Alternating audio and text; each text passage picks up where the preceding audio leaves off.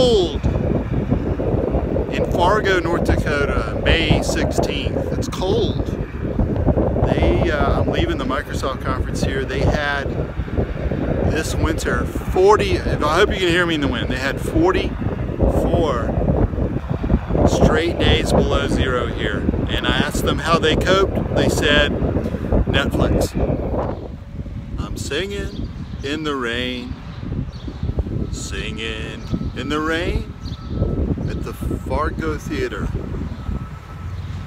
Okay. The Fargo Theater.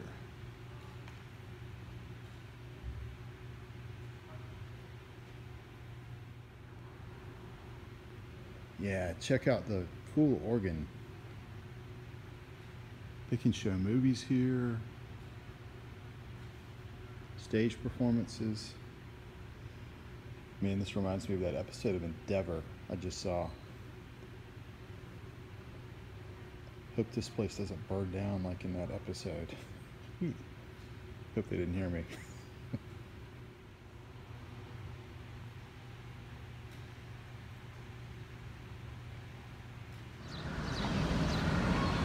I think they renamed this ESPN Way when Game Day did the broadcast from here, from North Dakota State. That's my guess. I might ask.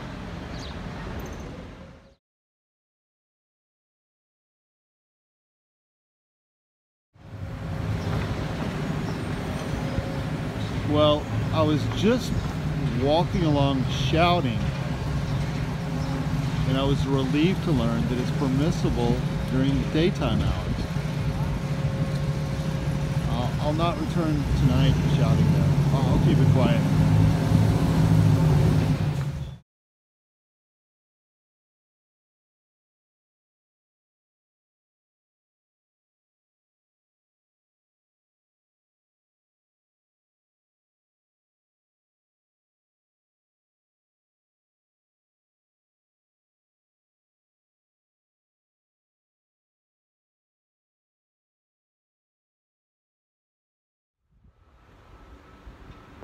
Well, all the churches I've seen here have been Lutheran, except for this, which is the First Presbyterian Church, built in 1929. It's kind of nice. Also, it's kind of nice that it doesn't look like a warehouse.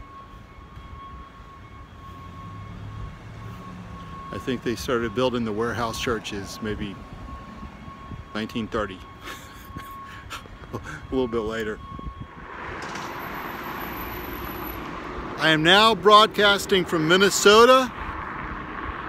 I could have walked into Minnesota, but I didn't. I drove over. It's kind of a long walk and it's cold. Ooh, it's cold out here. I've walked into other states before. I'll let the bus go by. Minnesota is much like Fargo, North Dakota. It's just separated by a Red River.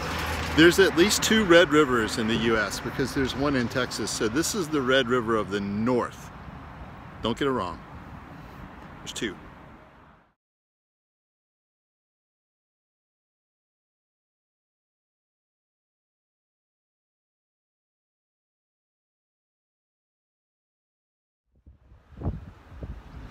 Well, I got ambitious and I walked. I walked into North Dakota. Let's let's just say it. I walked into North Dakota, and actually behind me you see the Red River.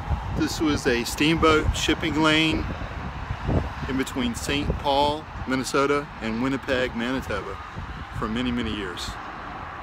No more. But what you see behind me is Fargo, which is the largest metropolitan area in between Minneapolis, St. Paul, and Spokane, Washington, which, I goodness gracious, that's a thousand miles or more across the Great Plains. There's nothing, man. There ain't nothing. And at this place, they have, I think, four or five gates at the airport. Not too big.